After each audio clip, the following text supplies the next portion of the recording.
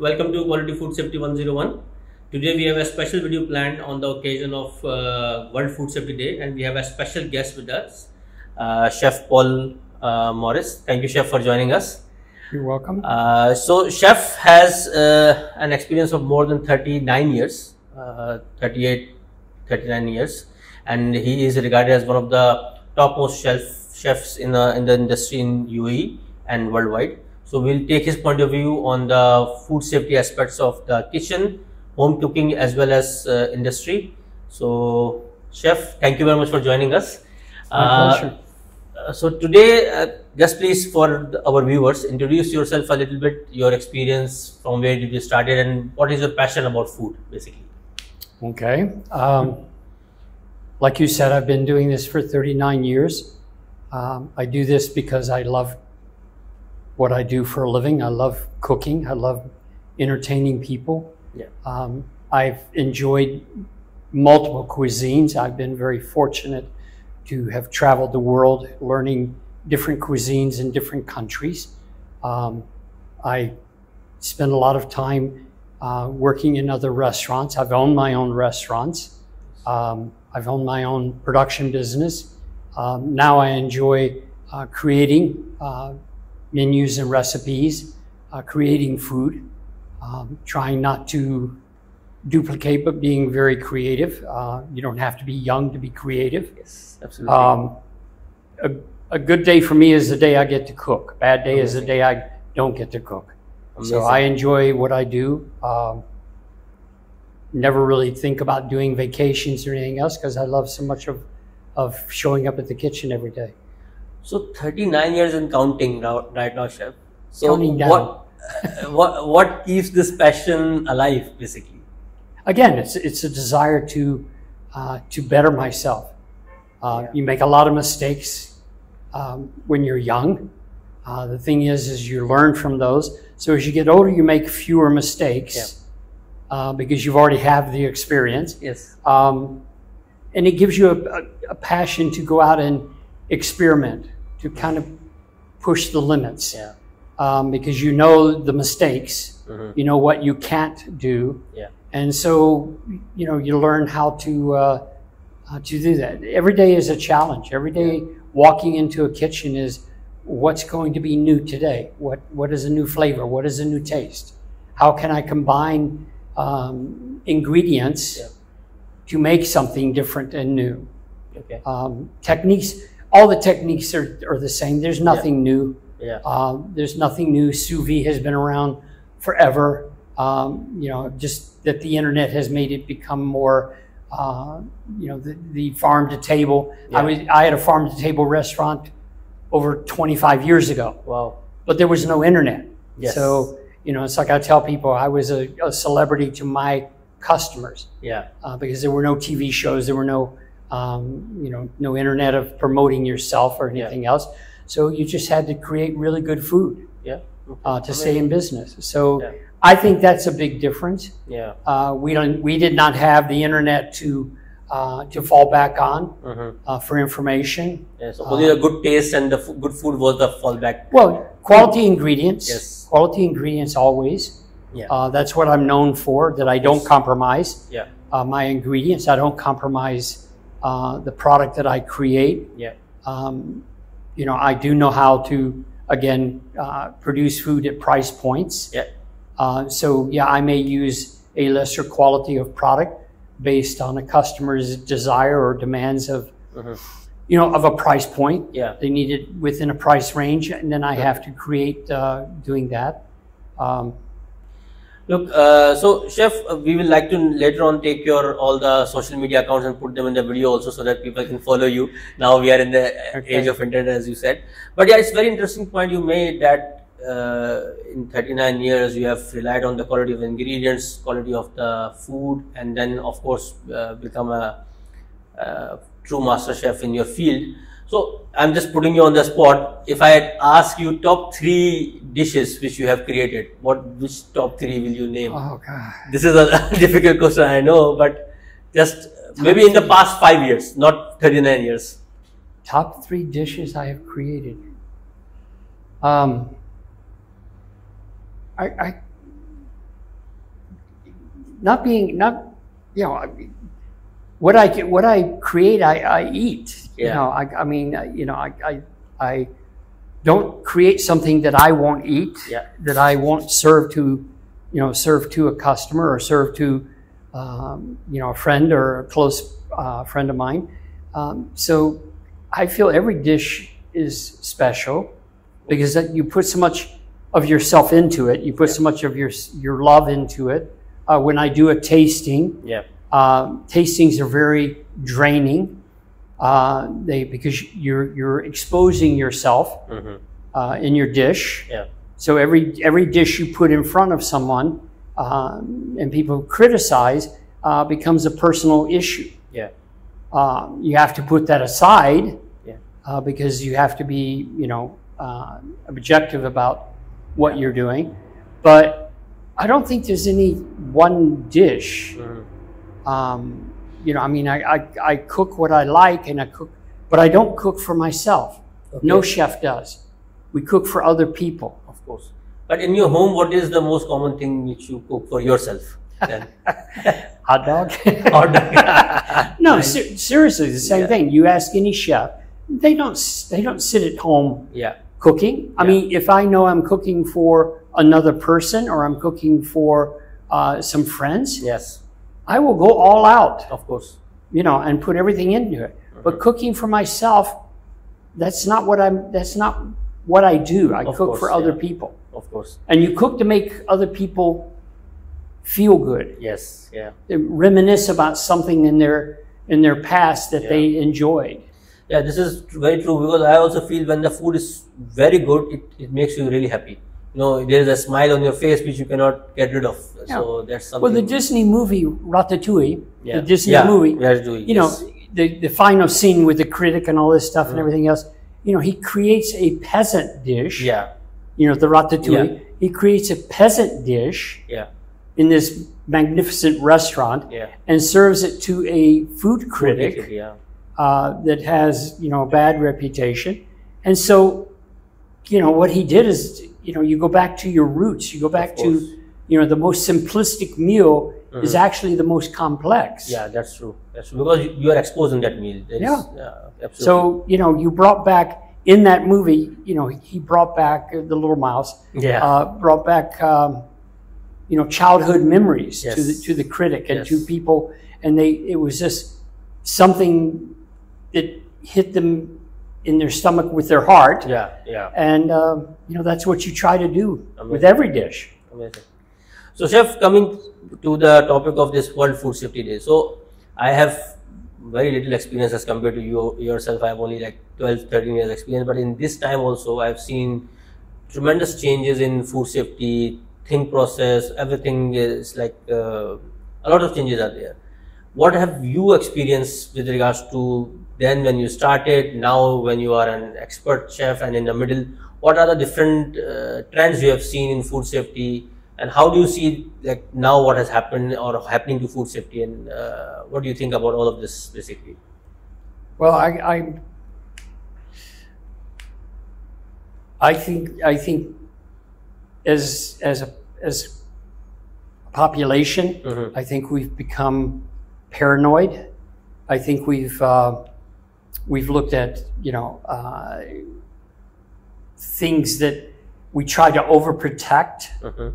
Um, you know, I I've always, you know, like I said, I, I wash my hands more than a surgeon does. Yeah. I mean, more than a doctor. Uh, you know, when I was in a, a kitchen, yes I didn't have to worry about wearing. We didn't wear gloves. yeah You know, we washed our hands, and and we we we did this because we were serving other people. We were, you know, we were trying to give people the best experience possible. Mhm. Uh, you never, in 38 years, I, you know, I've never uh, known of anybody that I've injured or hurt or made sick. yeah Um, you know, if you're not producing food, uh, you know, you're not going to have uh, issues.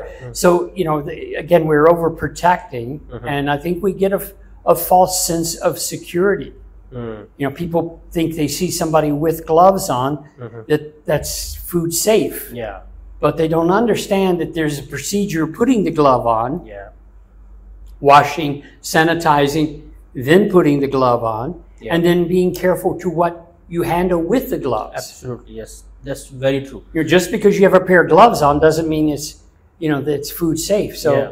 Yeah. I think I've seen a lot of this. Uh, I, I think paranoia, Yeah.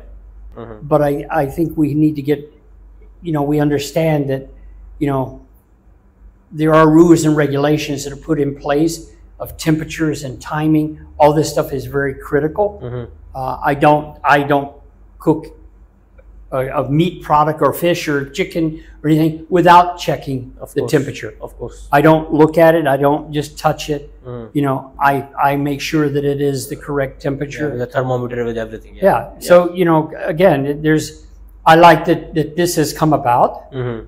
you know, that, that people are more conscious of, you know, cooking the food Yeah. correctly. Yeah. And a lot of this is because we have, you don't have as many trained chefs Yeah, that's true. in a kitchen nowadays. Yeah. Um, we're expensive. Mhm. Um, you know, we have experience, we have time, uh, we have education, we have knowledge. Yeah. Uh, that that has a value. Of course. Um, so people hire lesser expensive uh, staff, Mhm. and that staff, you know, has limitations. Yeah. One thing also, chef, what I've observed is that before, uh, when before this whole conglomerate of cities uh, emerged, like Dubai is like a conglomerate of like 150 nationalities, and same as my home country, Karachi, people coming from all over Pakistan to that one city. Before that happened, things were much much more simpler. You are uh, serving essentially to a population which you know, or maybe which have been grown in the same environment, and the ingredients which are using are natively sourced. So it's easy to control uh, the health risk and the hygiene and everything. But now, since uh, we are living in, in a situation that multiple nationalities and cultures are coming together, then you go to a Chinese restaurant and most probably the chef cooking in that restaurant might not be Chinese and might not be even using Chinese authentic ingredients and might not be even cooking them the way they're supposed to be. Yeah. And as a result, the whole risk factor changes. And for me, I'm not a Chinese person, so for me, the risk of allergy to those ingredients, sensitivity will be different also because I've ne- maybe never eaten those things before. So I think due to that, the risk factor has changed. What do you think about that aspect of current situation food safety? Yeah, I mean, uh, you know, I'm an American, Yeah. um, but I, I live here in the Middle East. I've been told I make better, better Arab food than most Arabs. yes. uh, when I was in Kuwait, uh, you know, during Ramadan, we cooked Yeah. uh, for the people who were not, you know, not Muslim. And, and again, this was in a two-story building, so downstairs was the kitchen. So I, I, you know, most of the staff upstairs was Indian, hmm uh, and they told me that I cook better Indian food than your mother. Yeah. So uh, you know, I think if you know the techniques, Yeah. you know the ingredients, hmm uh, you know the taste of the people you're you're cooking for. I don't think it really matters Yeah. um, you know, Yeah. cooking American or Chinese or or Indian or Pakistani. You know, I just think you have to make sure that you're you're satisfying the market that you're reaching for. Yeah. Um, Coming back to the point of the gloves which you mentioned, I just recalled day before yesterday I was one at one restaurant. So this uh, server was wearing gloves and hairnet and everything, but her gloves were torn off, yeah, damaged.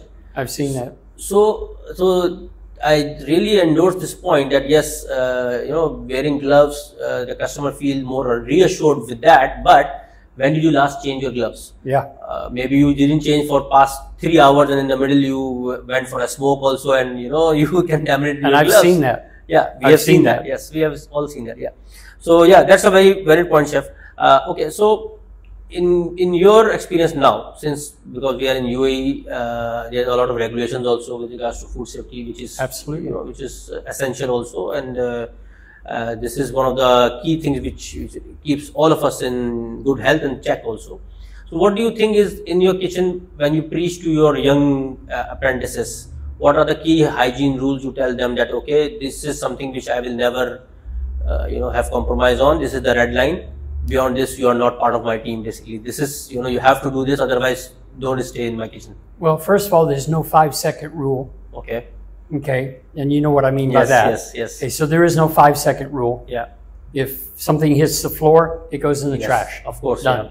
Um, you know, and again, a lot of restaurants don't follow. Yeah, you know, yeah, yeah. They, it- so it's it's a joke within the industry a five second rule, Yeah. but there is no five second rule. Of course. Uh, the other thing is, is I always emphasize to my staff, uh, cook the food as if you're cooking it for your mother. Absolutely.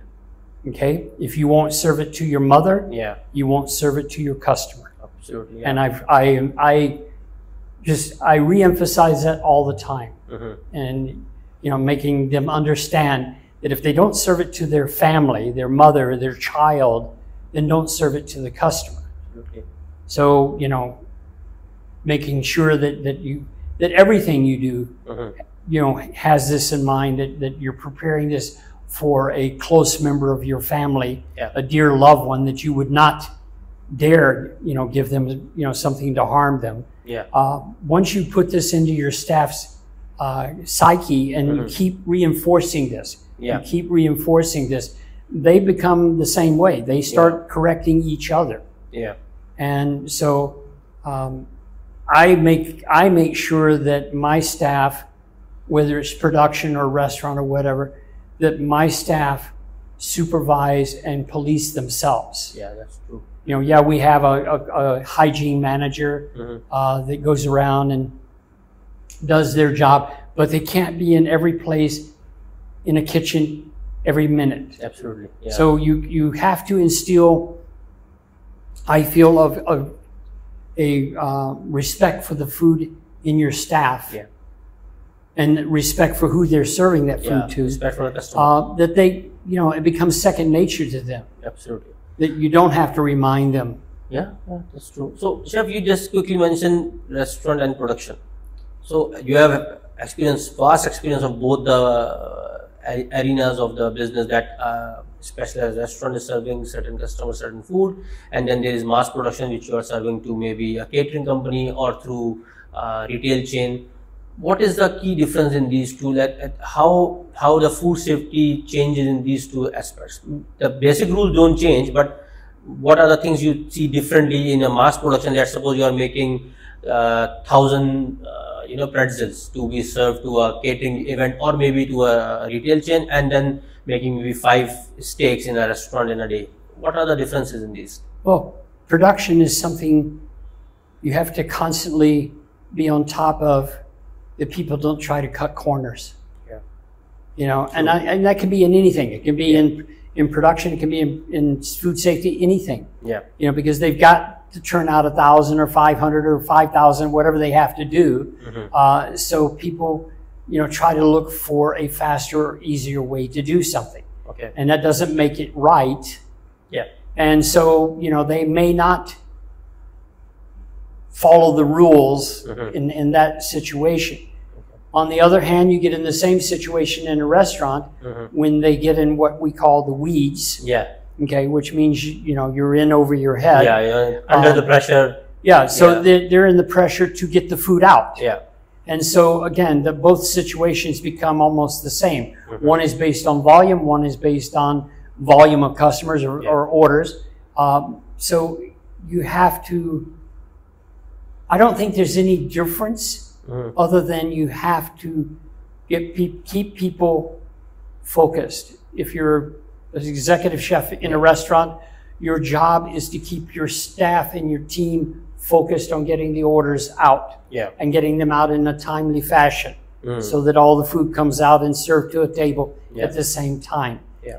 In production, uh, it's getting the job done within the time frame allotted. Mhm. Um, so, you know, I- Does, does the number of people make a difference? Because generally in production, when we talk about, we talk about more number of people, bigger area, maybe multiple rooms. And when we talk about a, kitchen, uh, it's a single uh, working unit, less number of people. So does the number of people make a difference for an executive chef or? A, No, I, I think in a, in a production ca- capacity, a, a production unit, like I said, you teach your people to police themselves. Yeah, So you have more people watching each other. absolutely. Yeah. Um, so I, I, I think in a production, because production has, you know, I think uh, less room for movement. Uh, Okay. You know, you've got you're producing a thousand of an item. It has to be a thousand copies Yeah. Yeah. of an item, Yeah. and everyone has to be aware of this, and everyone is on top of it. It's not one person. Mhm. Um, in a in a restaurant, you have the executive chef or the pass chef. Mhm. You know, the one that the dishes come to before they go out. Yeah. Uh, that checks the dishes. Yeah. Um, so you have one person that is Yeah. The responsible. pass chef is there. Yes. You know, so you have that one person that is responsible for the food going out. Yeah. Versus in a production area, you have multiple people in charge. Mhm. You know, Maybe each step is checked by somebody. or you have you have head chefs, you have production chefs, you have you know the, the helpers, this, the packagers, the. Yeah. you know all the different aspects. So you have multiple people looking at what's Mm-hmm. going on Yeah. uh, to make sure that you have the consistency. Yeah. Okay. Chef, in your history, uh, do you remember any food poisoning case? Not with you, but with any uh, other chefs or any anything which stick to your mind that oh, that happened there, and this is like they must have done a very bad job to cause this food poisoning. Um,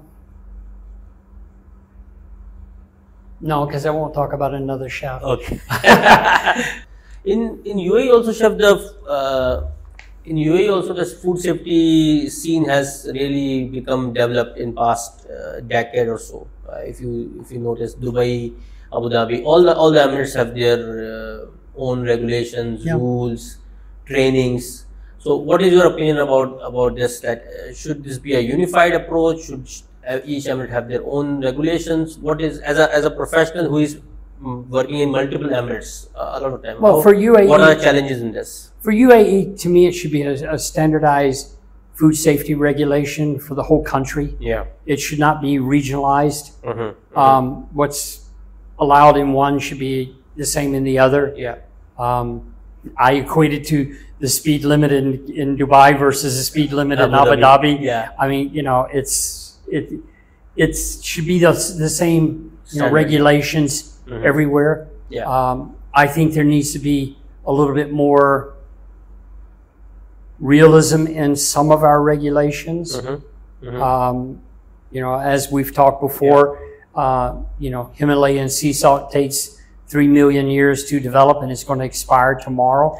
uh, you know, these type of things. I Yeah. mean, honey, 5,000 year old honey found in Egypt and it's still edible. Yeah. And we, and everyone knows that honey is antibacterial, Yes. that nothing will grow, no mold, no bacteria will grow Absolutely. with honey. Uh, so there is no expiration, but Yeah.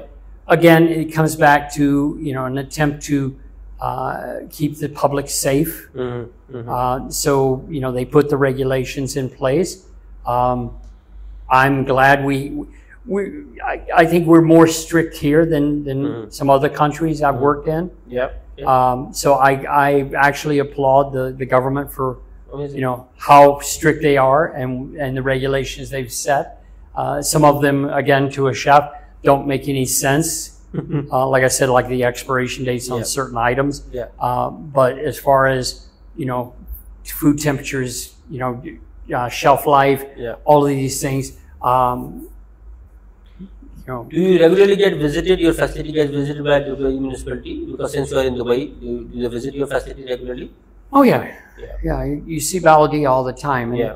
I just, I've always been of the mindset, you know, show up when you want to show up. Of it doesn't matter to me. The re- my, my kitchen is going to be the same, Yeah. whether you're, I know you're coming or I don't know you're coming. Yeah. It doesn't matter. If it's not clean, it's, it's not clean, but it's, it should be clean. Yeah. Yeah. Uh, so, you know, I've always been this way. Um, one of the companies I was working for, we uh, produced products for uh, some major chains, Yeah. uh, franchise chains here Mhm. uh, in Dubai.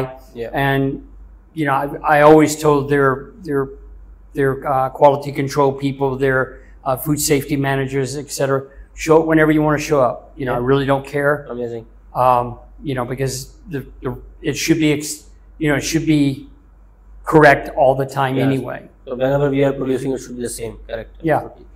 So, chef, one quick uh, discussion about one more thing that since you are in the industry for 39 years, and there is a misconception in the mind of people that, uh, let's say, if somebody gets food poisoning, they will it will be only from outside food. But we know it can happen from any food. It can be from home cooked food also. Uh, and it, in many cases, it happens from home cooked food, but we don't realize it, or we don't go about suing our mothers and sisters who cook the food. So, what advice do you give to a normal home cook person? That what are the key factors they need to follow to make sure that they don't harm their family, friends, and themselves while you know from food? Well, two things. One is to get food poisoning Yeah. of any kind. Yeah. It has to go through the digestive system, Absolutely. which doesn't happen in 30 minutes. yes, absolutely. Yeah. So you can't eat something and get food poisoning from eating it right now and then food Yeah. poisoning in 30 minutes or Yeah. five minutes or even a day sometimes. It depends on, you know, what caused the food poisoning, you know. So this is a mis- a problem within our food industry Yeah. is people come, oh, I got sick from your food. No, because I don't know what other food you ate. I don't know when you ate. Yeah. You know, again, I need to know, you know, the digestive process. Yeah. You know, don't don't start pointing fingers at the restaurant Yeah. when it could have been something you ate for breakfast at your house Absolutely. or whatever. So to to people preparing at home, one is a clean work surface, Yeah. meaning that you wipe the surface down before you work Okay. making sure that all your tools, knives, cutting boards, whatever, are clean, wiped, sanitized. Yeah.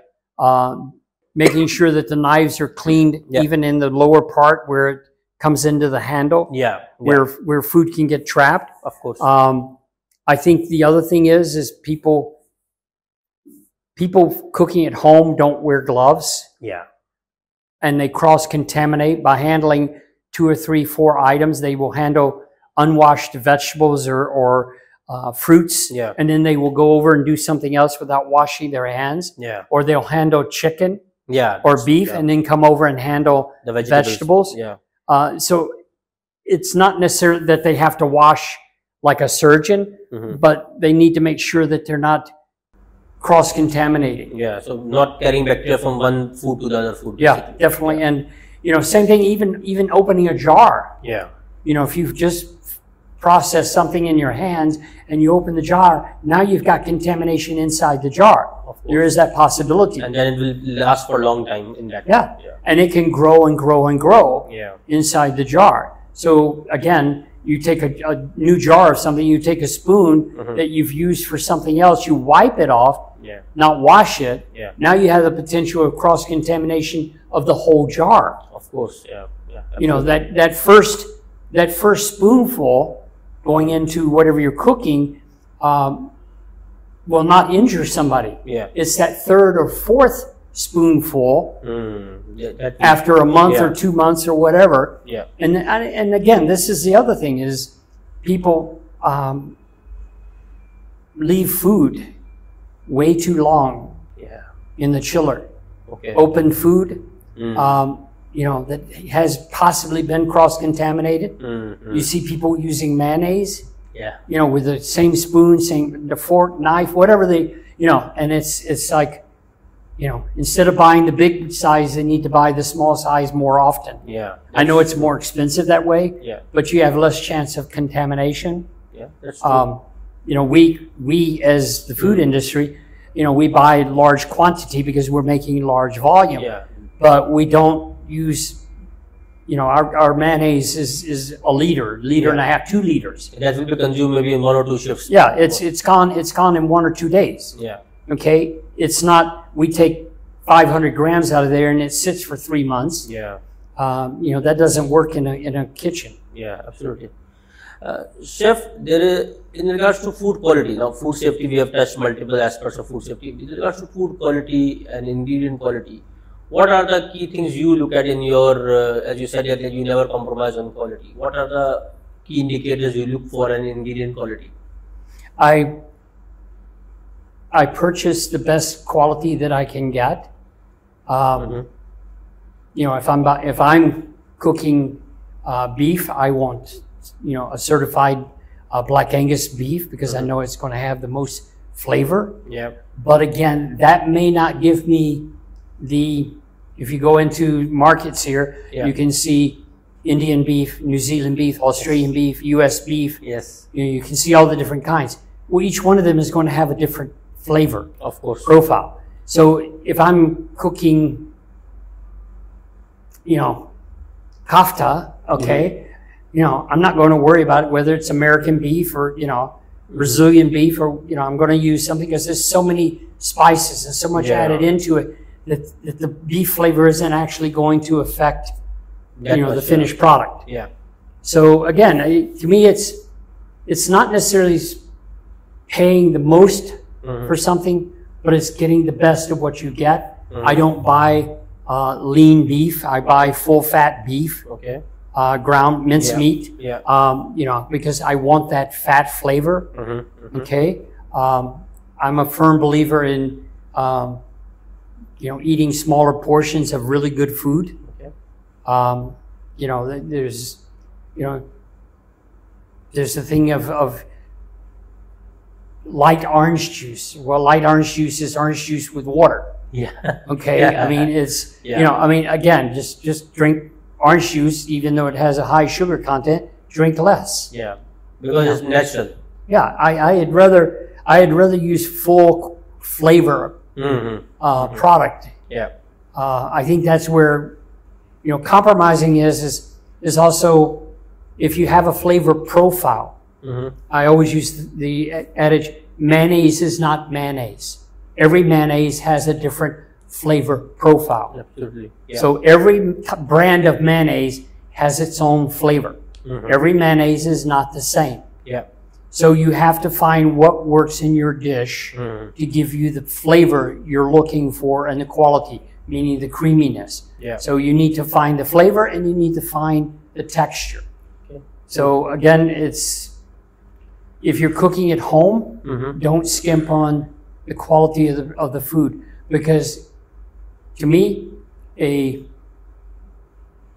a full quality piece of minced meat burger, Mm-hmm. okay, um, you know, meat versus a low fat or no fat or whatever Mm-hmm. burger, uh, you know, the, the one is one is flavorful, filling, and, and gives you comfort level. Yeah. The other one is just something to eat. Yeah. Just to okay. Yeah, agree. it agree. fills you up, agree. but it doesn't give you that pleasure. You know, I believe, you know, that a lot of chefs have lost uh, the talent or art of cooking. Mhm. Uh, you know, they they, uh, they go in, they have powdered uh, beef flavor, powdered chicken flavor. Uh, you know, it's in a it's in a cardboard container. You know, 20 grams and and 500 li- milliliters of uh, water, and you have chicken stock Yeah. or beef stock. Yeah. My beef stock takes 10 hours to make. yeah. So My chicken stock takes you know takes about six hours to make. Yeah, because you're cooking from the actual chicken. Yeah. So again, it's it's. I I agree. I don't have a problem with additives as long as you you get the flavor you're looking for. Mm-hmm. You know, beef beef stock in the in the in the containers. First ingredient is salt, Yeah. Okay. It's an additive. Yeah. and then like the fifth ingredient is artificial beef flavor Mm. or artificial chicken flavor. Mm-hmm. Okay, there's no vegetables, there's no tomato paste, there's no bones, there's no beef. You know, there's nothing there. Yeah. So again, I, additive, if it gives you the flavor you're looking for, then I don't have an issue with it. Yeah. If if it doesn't, then to me, do it without the additives. Absolutely. But where you know what do we what do we buy that doesn't have some kind of Additive. additive? Yeah. I mean, even your chicken that you buy has has been washed with a with a, a salt brine. Yeah. Um, you know, same thing with you know you buy seafood, shrimp. Yeah. You know, shrimp is is brined in, in salt water. yeah. Uh, so you know you're you're buying like thirty percent water Mhm. content after you cook it. Um, so it's in this day and age, it's hard. Yeah. An apple to me is not what an apple is to you okay. because we're two different generations. I was raised, you know, on apples picked off a tree Yeah. uh, you know, and they weren't GMO, they weren't anything else, but we also didn't have the population we have nowadays now. to feed. Of course. Yeah. That's. that's So, true. you know, again, I, I'm not, I'm not anti anything. Mhm. The, the billions of dollar industry of organic foods, you know, what is organic? You know, um, I mean, there are rules and regulations that differ from country to country. Yes. Yeah. So, you know, it's, it's a multi, multi, hundreds of billions of dollar Mhm. industry. Uh, that they keep promoting. Yeah. You know, is it healthier? I don't think so. So, exploring on the same topic, so do you think that food industry has become too commercialized instead of just being with the simple pleasure of cooking for somebody? It's become too commercialized, too profit driven. It's profit driven. I mean, that's that's what all businesses are. The restaurants are profit driven. I think, I think the food industry has become too faddish. Mm-hmm. You know, I've seen all these fads come and go and come and go again. uh, you know, th- again, there is nothing new. Yeah. Um, you know, keto, you know, I, I used to be a long distance competitive runner, you know, 45 years ago or whatever. Um, you know, we were doing keto dieting then. Mm-hmm. You know, keto diet now. I mean, it's nothing new. Okay. So everything is cyclical. Mhm. Um, you know, I feel that um, I feel that, that the food industry is trying to make profit, of course. Mhm. Um, I think some of them are sacrificing, again, as we've talked, quality Mm. for the, the price. Yeah. But then some of them have not changed the quality. Yeah. They've reduced the package size and charged you the same amount of money. Yeah.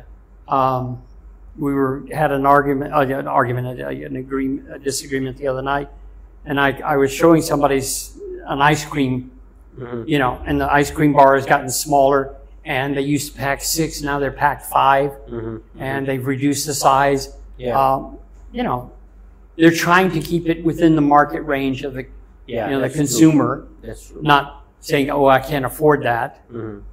Uh, so, you know, again, at my age, I, you know, what I paid a nickel for for a candy bar is twice the size of what you pay, you know, a dollar or I mean a dirham Yeah. for, you know. Chef, you mentioned one point before, and as you are developing food from multiple different other companies, other uh, Cultures. uh, cultures, restaurants, food chains, and all.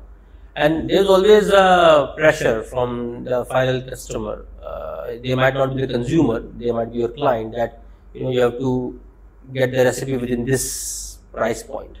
Yeah, and sometimes it might not be possible.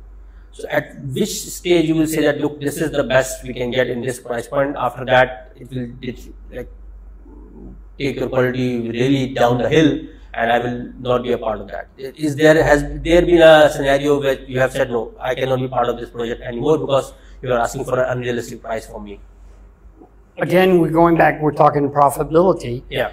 You know, we have to look at, there is a point at which I will not compromise again, um, even at price. Yeah. Um, but I have to look at my cost Mm-hmm. and I have to, you know, what the customer is trying to sell it for. Yeah. Um, may be unrealistic Mm-hmm. price point. They may want, they may have a price point in their head, but that is unachievable. Even if I cut my profit, uh, we're all here to make a living. Yeah. Of course. Uh, so there's a point at which I say either I've reached the end of my, you know, profit cutting, Mhm. uh, you know, then the customer has to look at can they take less? Yeah. If not, then they have two choices: either raise the price Yeah. of the of the product, or Yes. don't do the product. Yeah. Of course. You know, I mean, yeah, there is a point at which I will say I I can't do it. Yeah. and I will. I can't. I can't lose money. I mean, I can't afford to lose money just to produce something. Of course. And you know, so again, a lot of times is um, the customer's expectations Mm-hmm. Mm-hmm. don't match the Yeah. the product. Yeah. You know, so again, it, it's it's it's working with the customer. I think it's that's the key factor. Is working closely Customer. Yeah. know, with the with my customer. Yeah. um, and trying to look at can we sell can we charge less but make a better product and sell more Yeah. That's true. Okay we may cut the price by two dirhams on the retail side Mm-hmm. that being that the, the my customer makes 10% less profit. Mm-hmm. I've got mine down, but we make a product so good That will sell more. that instead of selling 100, you sell 200. Yeah, yeah. So everybody makes more money, of course. Yeah.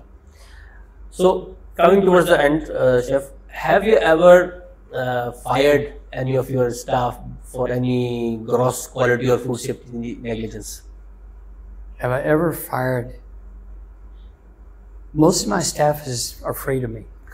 And I don't mean that in a bad way, but I mean, they, again, I, I- you know, when you come across with, you know, the passion that I have for food and the passion I have for what I do, um, I instill that into my staff that they have this passion. Yeah, You know, if they want to just collect a paycheck, go somewhere else. of course. You know, I will fire somebody for that. Mm-hmm. Um, you know, to me, the first thing is is to educate people. If they make mistakes, if they do something, doesn't matter how wrong, you have to figure out. excuse me. You have to figure out whether it was done out of ignorance, was it done maliciously, Yeah, you know, whatever. I have not found anybody that has done something maliciously yeah, to harm me or harm a customer or something else. Yeah. I've seen people be negligent because they're not thinking. yeah. Uh, and then, you know, that's not worth firing somebody. That's worth, you know, yeah. giving them a little slap in the back of the head. I mean, you know, I mean, it's wake them up and, and say, Yeah. you know, you could do this. And I have had this situation where people have done something where it could have harmed somebody Yeah, you know, uh, and, and again, you, you know, you let them know the severity of what they've done. of course. But I've not had anybody do something so severe that I felt that, that I needed to fire them. Okay. Usually, usually people, in, in again, in our environment here, our cultural environment here, um, you're not going to have people doing things, um, I mean, you know, from America, you know, you have people there doing things to hurt people just to hurt people. You know, just doing something because they can. yeah, And you don't have that here. Uh, you know, the different cultures we Yes. have, the Filipino culture, the Indian culture, the Pakistan Mhm. culture, you know, all these cultures, it, it's, it would be the far outside exception to their cultural thing that that one person wanted to harm somebody. yeah. Okay, you don't have that within our cultural environment here, which we're lucky.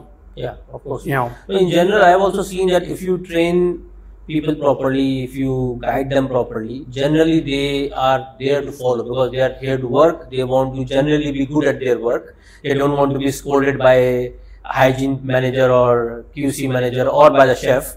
So they usually tend to follow the rules. But yeah, if there is a negligence, you have to bring them back into reality sometimes. well, usually when a chef loses his temper, things start flying around the kitchen. So. yeah, yeah, yeah. But I don't do I don't do that anymore. I don't yell. I don't yell. I don't I don't use profanity. I don't Yeah. throw I don't throw pots and pans or knives. Uh, you know that, that's that's long gone. But uh, no, I, I agree with you. If you train people properly, Yeah. if you incentivize people, Mm, Yes. if you appreciate people and let them know they're appreciated, Yep.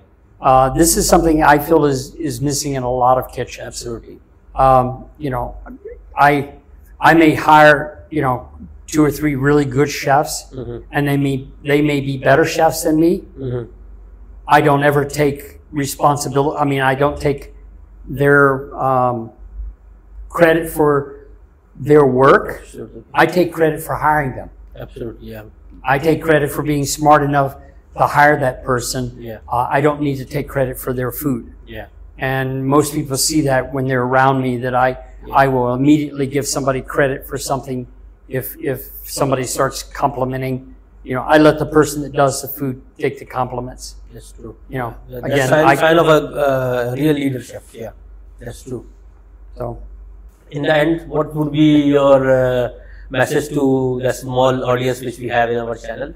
Uh, this video will go on uh, the 7th of uh, June on the World Food Safety Day.